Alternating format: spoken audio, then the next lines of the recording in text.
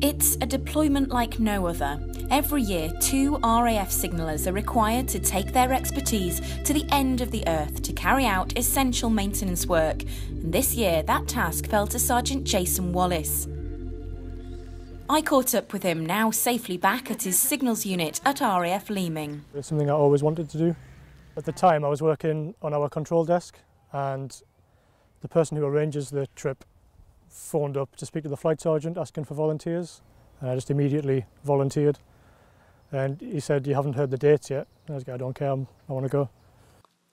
Sergeant Wallace's mission, together with colleague Corporal John Cole, was to fully service the VSAT and antennae systems on Rothera Research Station.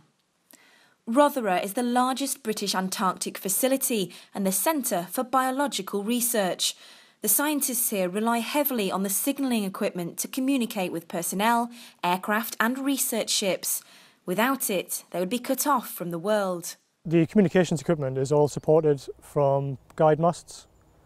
Uh, so our job is basically to climb the masts and inspect them, make sure everything is as it should be.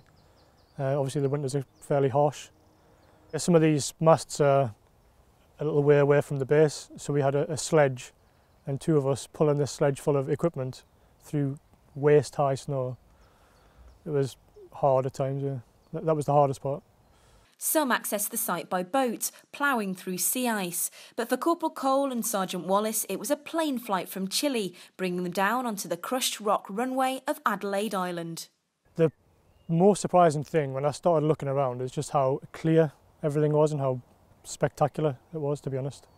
Like I'd seen plenty of photos before I went, doing a bit of googling, um, but the photos just kind of do it justice how pretty it is, I suppose. It's a bit surreal, really, especially the views from the top. Spectacular. One side you've got like mountain ranges, and then to the other side is sea ice um, with islands that are hundreds of miles away that you can see crystal clearly. And then there's whales swimming past and penguins running around best part was just being able to finish work, grab a skidoo and head up onto the slope and snowboard. It actually boggles your brain how how beautiful it is. I feel very privileged to be honest. Ensuring the scientists in Antarctica are able to continue to communicate with the world is certainly one deployment he's unlikely to forget. Hannah King, Forces News at RAF Leeming.